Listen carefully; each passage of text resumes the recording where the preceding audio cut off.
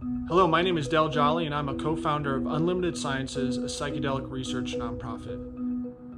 We're combining the power of data, lived experiences, and storytelling to help serve the psychedelic community, educate the public, and inform common sense practices and policies.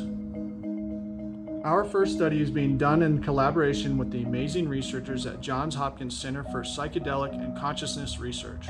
We want to understand how psychedelic mushrooms are used outside of the lab and in the real world. How do mindset and their physical settings affect people's experiences? Is there a difference between using psychedelics in the woods versus a concert?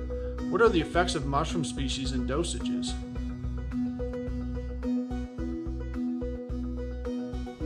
Real world use could provide powerful signals to point where future clinical studies might go.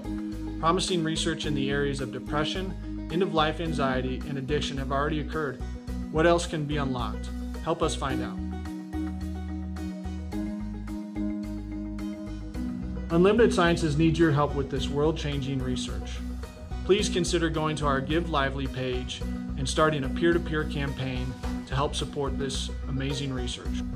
Not only will you be helping us with our mission, we have some pretty cool gifts as well. Thank you, and we do not exist without your help.